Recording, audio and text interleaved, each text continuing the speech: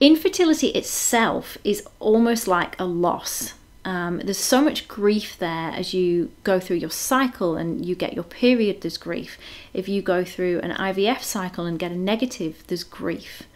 And there's also loss of a pregnancy at any stage um, is a loss. And I think sometimes it's it's hard because we can't mark a miscarriage or a loss or a chemical pregnancy or a loss at a really early stage.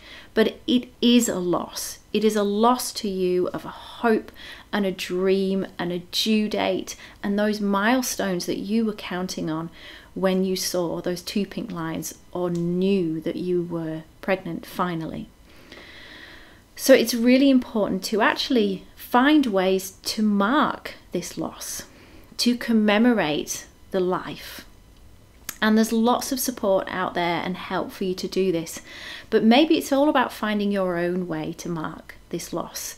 So it may be that you find a little space in your home and have a picture frame, um, a candle um, that you light, um, anything like that. Finding like almost like a little sacred space in your home where to house that grief, where you can return to when you need to connect with those feelings. You may also want to mark this with some sort of ceremony like a tree planting or having a bench in your garden or something like that. Another thing that you can do is actually write a letter to your child. Um, and it'd be very emotional experience because yourself and your partner can do this as well. Um, and this can actually be incredibly cathartic in um, getting through some of those emotions and, and channeling them through this letter.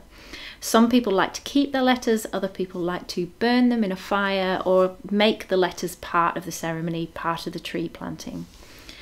So marking and commemorating loss is, is very much part of our society, but we need to bring that into loss during infertility as well. And that can be a really key way to cope. Another way to cope is to find your tribe. Who else is out there who's gone through this? Find the support groups near you, online support groups, um, and organisations. There's some wonderful ones out there able to support you. And lastly, being specific with those around you. If you can be really clear with those around you what you need as you go through this, because often when it becomes to loss and infertility, people don't know what to say and often, you know, cause more problems by um, fumbling through and saying the wrong things. If you can be specific about what you want people to say, when, and what you need, particularly straight after a loss, be very specific about what you need. For example, bring meals round and drop them on my doorstep. Um, can you take this somewhere else? Just be really specific and clear, and that can really help um, in those early days over that loss.